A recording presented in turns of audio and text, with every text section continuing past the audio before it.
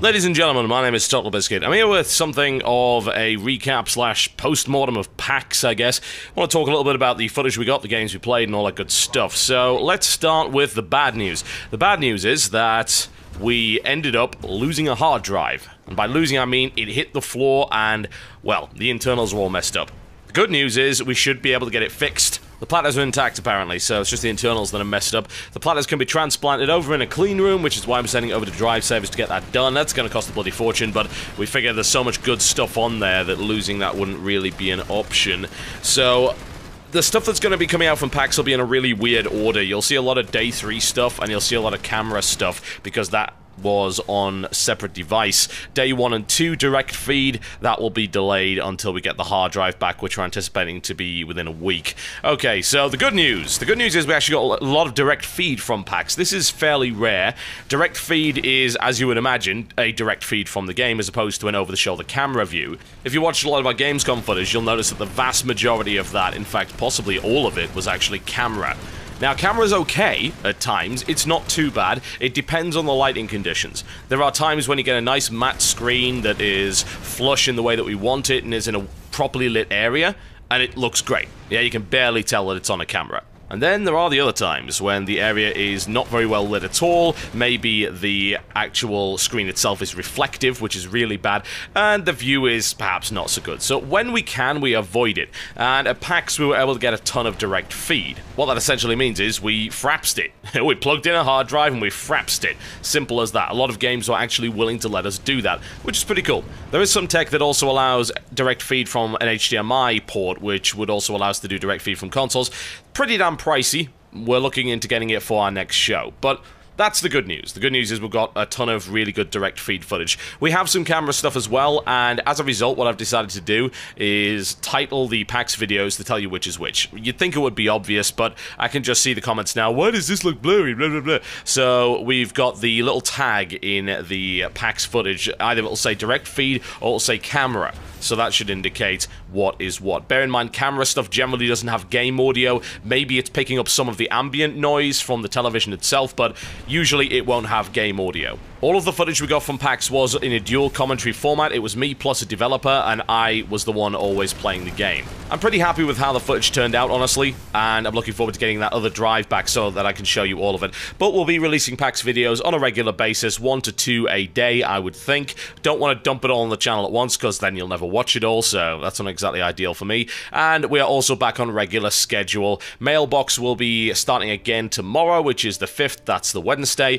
and we'll be continuing as as normal. Also normal WTF is content, beta coverage, and things like that. So the next couple of weeks should be fairly content rich for you guys. So we're really happy with how PAX went. It was actually a great show, and if you ever get the chance to go to a PAX event, I would strongly recommend it. It's very consumer orientated. You can play pretty much everything, and there's a lot of really cool stuff there. It's not just big games. In fact, there's a lot of board game stuff, a lot of card game, and a ton of indie stuff, and they got a lot of traffic, which was really awesome. People just wanted to try different games, and there were loads of them available to actually try. Needless to say, as a result, we played a lot of them and filmed a lot of them, so I'm really happy about that. Our E3 coverage was terrible. PAX, on the other hand, I think is going to be really good for a lot of you. It's really hard to pick a game of the show. I enjoyed MechWarrior Tactics, for instance, because I'm a huge MechWarrior fan, and this is actually the first really big piece of footage that anyone's ever seen, so expect that quite soon. That, thankfully, was on our Day 3 drive, so we didn't lose that.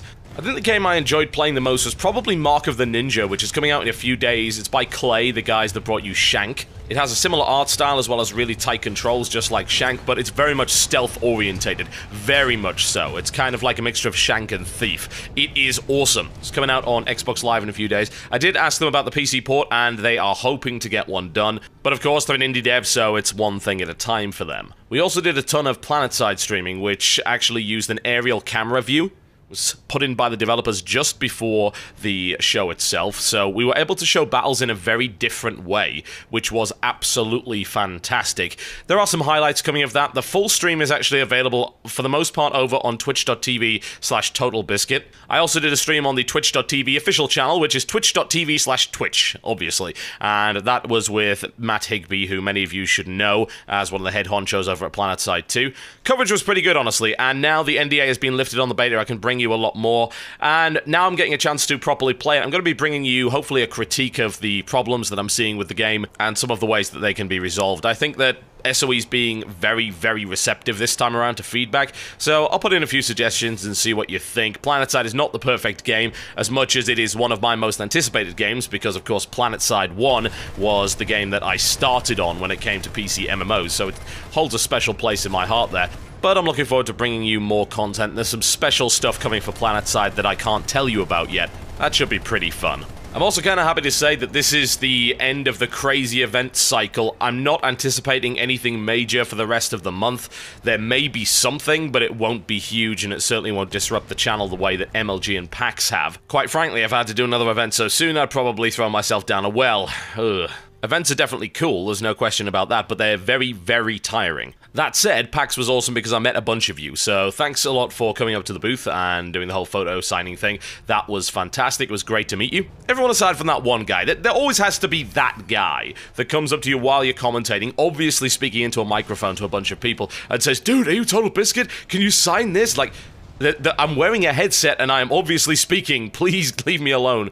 Thankfully, there weren't any others like that, but yes, that guy, you know who you are. You are a terrible person. As regards to the games we covered, we pretty much covered every game that we could get an appointment for that would actually let us film. So that pretty much discounts most of the big titles, so if you were looking for stuff for like Borderlands or Assassin's Creed 3, nope, they won't let you film Jack. So at the end of the day, I could go and play the games, and then not show them to you, or I could just film something else, which makes more sense, I guess, for you guys.